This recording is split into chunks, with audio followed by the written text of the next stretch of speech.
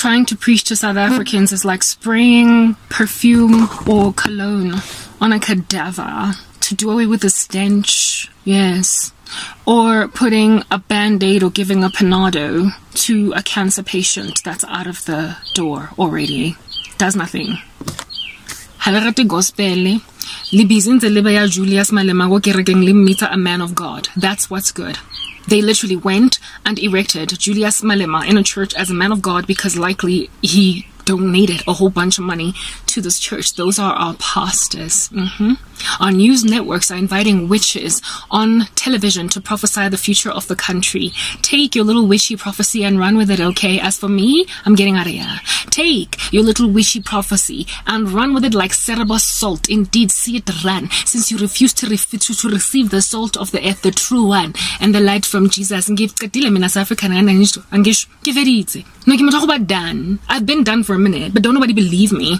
But I'm gonna like continue to hammer it down into your heads. Lebeleng just now.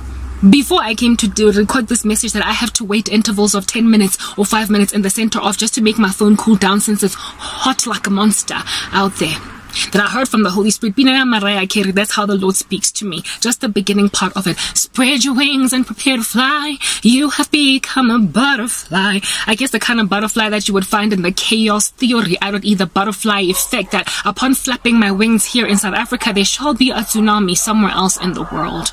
That's what's good South Africa. Pilengani, ke feditse. Ga ke tlhaloganya gore go etsagalang mona down here in these streets. Literally, I don't get it. I am done. I'm exhausted. But you know what? It doesn't really matter. All of my fatigue, everybody's like, oh, Karabo, who's not tired? No, no, no. There is a difference between my fatigue and yours. Hmm? There is a difference between being exhausted because you've been made to lay in bed all day and do nothing because you've just been in a car accident versus being made to get exhausted because you've been running all day. South Africans are exhausted because they've entered into a head-on collision that is fatal. Whereas I'm exhausted because I've been trying to rescue you from that very head-on collision. I've been working for God all by myself, grinding like no man's business unable to find the 7,000 others that have not knelt to Baal in this country, and so therefore feeling as if I'm the only person that's trying to defibrillate the country back to life. And receiving no, you know, like visible signs of life coming back to this like flatland rando that is called the South African conglomerate. Literally, I am done. I am exhausted. My hands are worn out. I am maladapting because I keep on speaking the same stuff over and over and over and over and over again to a bunch of people that are like, if it ain't broke, don't fix it. Oh, really? Really? This is what's good. I must step here. Mm. I'm feeling, indeed, just like Elijah. And the Lord, indeed, has told me there are 7,000 others that have not knelt to Baal. Where they're at, I don't know. But guess where I'm going to find them? Likely in another country. Been saying it. I'm getting the stepping on out of here. However, you don't believe me. I have had seasons where I have thought that maybe, just maybe, something can be defibrillated back to life until I got pursued by a whole bunch of spiritual junkies that like to see a woman that is nice and spiritual. However, in and of themselves, they like that spirituality. So because they covered it or they want to taste what it's like, just to see what it's like to date a very super fervent, like Christian woman on Facebook. direct message, message. Literally, I want to Google if at all you can switch off DMs on social media because I can't stand the fact that I can see witchcraft in operation with the kinds of people that DM me. It is clear there is a strategy to wed me off to a little baby and make me Oedipus's mom. I've been lamenting about it over and over and over again. So if South Africa wants me married to Oedipus, then I will get, I guess I will go where it is that I don't have to be subjugated to the tyranny of little man Oedipus. Tiny little man Oedipus that also needs a little bit of CPR done on him because he's not really alive. I'm not doing this. I'm not doing this. We are literally not doing this. South Africa, you can keep your little webbed feet maladaptive thing that you are doing so you struggle to run fully, fully because you don't have proper feet to run. Your athleticism is eroding away out of you. You're like an athlete that is now doing nothing but eating donuts all day long. Can't nobody bring all your fitness back because you don't want to stand up and run again. You're like a person that used to be super duper fit and now you're rolling around in bed on the daily. I can't deal. I can't deal. Ndiyahamba mna. Ndiyaphuma apha and go tsamaya ka sefotofoto sa paraffin le tlo itswetseng go sia a plume of smoke ke le sie ka dust ke be ke le sie vf ka meno a thwategileng kgotsa lo tsamagong le le kisa morago ntse ke balega ebe le wa le dripega le latlhegelwa ke meno. Are going to get your teeth knocked out running after me as I flee this land. I'm getting out. If they persecute you in one land flee to the next. I'm doing it. I'm doing it because the Lord has made it clear that that's what's going to happen. Another 5 to 10 years of this insidiousness. Oh lo hlanya lokho ke a le ka ntjwetsa this please like go kopa le ntlhalosetseng Hey, batho ba ipitsang bazalwane hanging out in corporate South Africa.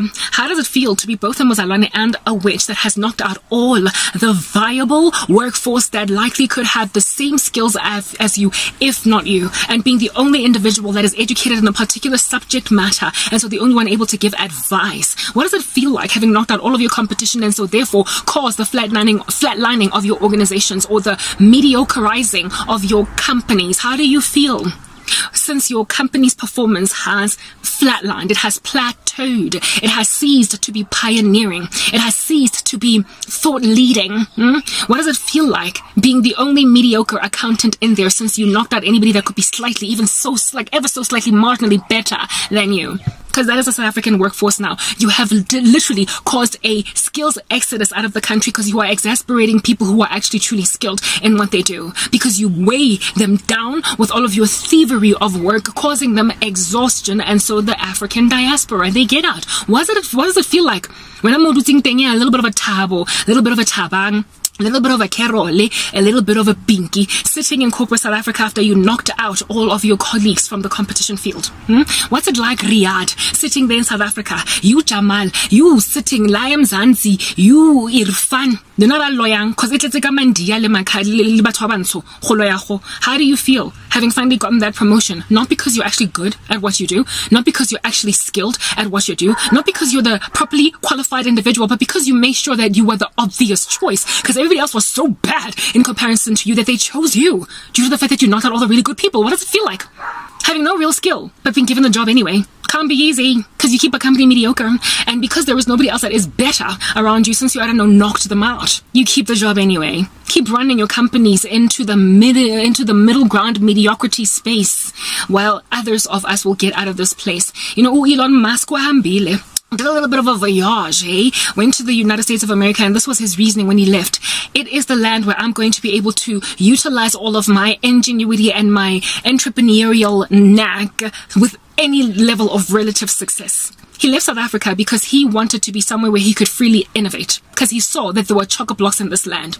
He saw that long time ago before all of us woke up to it. Turns out, if you want all of your talents to actually be explored, that you might fly out there like a butterfly, you gotta leave South Africa because South Africa will block you from being the best person you ever can be. You are deliberately antagonistic to your own economy. The people who knocked me off the market aren't necessarily even bad at what they do. They just make sure that they're the only people that could do it. So you have killed the economy of this country by keeping mediocre staff in there. You've made sure no one that is better than you can ever rise to the top, that they might knock you off a promotion. And so you keep the country mediocre. What in the world does corporate South Africa look like? It's not even able to innovate its way out of this darkness. That's your country. You made it. You keep it. I don't like it. It's a cesspool. It's staying.